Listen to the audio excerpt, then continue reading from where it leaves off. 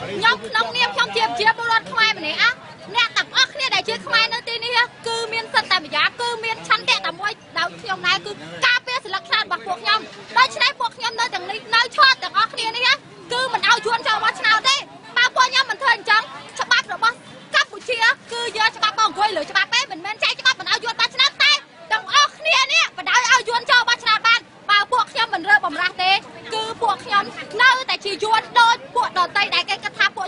ចឹងដូច្នេះសូមរាជរដ្ឋាភិបាលបើកផ្នែកស្លឹងមើលមកផងសូមប្រាប់ថាមិនឲ្យយួនបោះឆ្នោតទេថ្ងៃនេះគឺពួកខ្ញុំតស៊ូដាច់ខាតមិនឲ្យយួនបោះឆ្នោត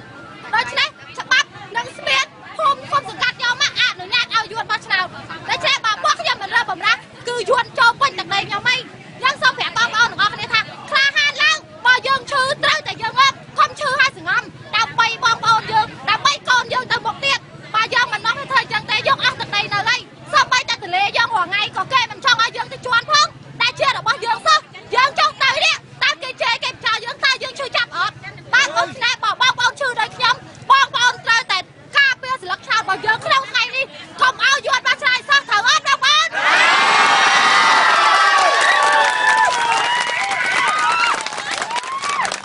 ន សូមសូមប្រាប់កន្លែងនេះឈ្មោះអីនៅក្នុងកន្លែងខ្ញុំថតនេះគឺភូមិជ្រោយ